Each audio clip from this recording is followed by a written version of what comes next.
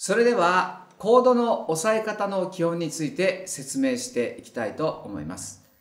で、コードというのは、まあ、もう数えきれないぐらいあるんですけれども、その中でも基本はドミソからなる、えー、C コード、えー、ここからスタートするのがいいと思いますんで、まずは C コードを押さえてみましょう。えー、で、押さえ方なんですが、C コード、えー、基本的な C コードはこの感じです。はい。で、どのように押さえていくかというと、太い6弦から説明していきますと、まず C コードは一番太い6弦は鳴らしません。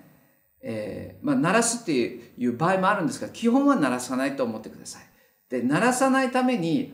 親指、ネックの上からこう出した親指で、えー、一番太いここ、えー、弦がですね、こう鳴らないようにして、なおかつこの薬指、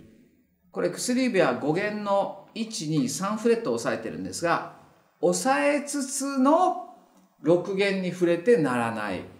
親指とダブルで鳴らさないようにしてある。ここがですね、最初のポイントになります。で、次、4弦の2フレット中指。で、3弦は、え、ここはそのまま、えー、何も押さえない開放弦を鳴らして、そして2弦の1フレット、ここを人差し指で押さえます。で、えー、このようになるんですけれどもちゃんと鳴ってるかどうかはですねこう一番太い弦がこう鳴らしていって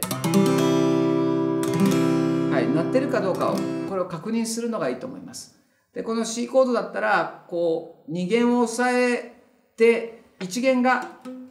鳴らないようになってるケースがあるんでこれはちょっと指を立てて1弦が鳴るようにする。それでこの3ですね。はい、えー、ではこの C コードが鳴ったところで次に、えー、コードストロークについて説明してみたいと思います。